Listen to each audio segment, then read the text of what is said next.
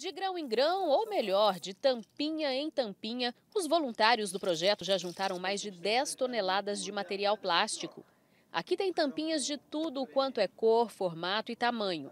Desde que sejam de plástico, elas podem ser vendidas para indústrias de reciclagem e o dinheiro é usado para alimentar famílias carentes. É exatamente isso que eles fazem. O material que chega através de doações e de postos de coletas é separado e moído. E o dinheiro da venda serve para comprar cestas básicas, que são entregues a dezenas de famílias cadastradas no projeto batizado de Cestampas. A gente tem mais de 90 famílias cadastradas e o projeto hoje consegue ajudar uma média de 20 famílias só por mês.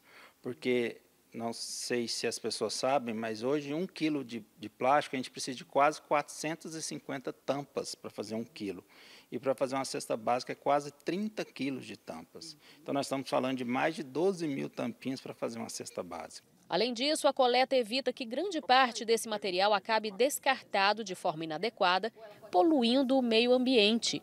Com o objetivo de agregar valor a essas tampinhas, a todo esse material, aqui na sede existe uma moagem das tampinhas para tentar vender o quilo por um precinho melhor.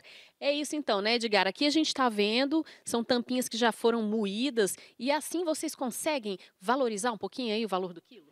Isso, a gente consegue e a gente faz uma separação também, igual nesse caso aqui que vocês estão vendo, é a tampa branca, então a gente consegue separar a branca das coloridas. Então, automaticamente a gente agrega um pouco de valor. A gente elimina um processo na, na parte da reciclagem, né?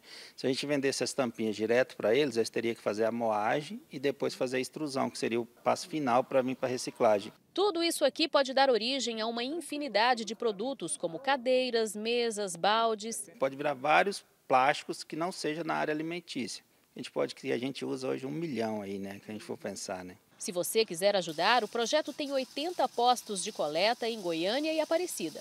Para saber qual fica mais pertinho de você, basta dar uma olhada no Instagram, arroba Projeto Cestampas. A família da Madalena é uma das beneficiadas com a cesta básica. E desde então ela também passou a juntar tampinhas para colaborar com o projeto e assim ajudar outras famílias. Incentivar as pessoas a juntar as tampinhas, né?